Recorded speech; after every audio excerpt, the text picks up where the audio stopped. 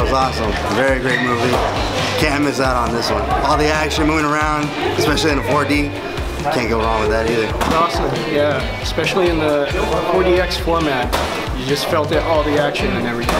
Did the 4DX experience make it better? Of course, uh, amazing. The 4DX experience just enhances it. Go see it here. If you don't see it here the first time, see it here again for the second or third time because uh, it really, uh, it's really immersive.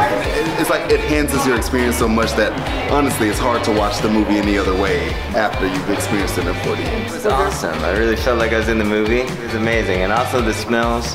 You know that that was a that was a cool uh, aspect of it. Not only the movement and the, the intensity, but also the smells kind of put you in the moment. Really enjoyed it. It was like uh, it was like being on a ride for a couple hours. It was a lot of fun.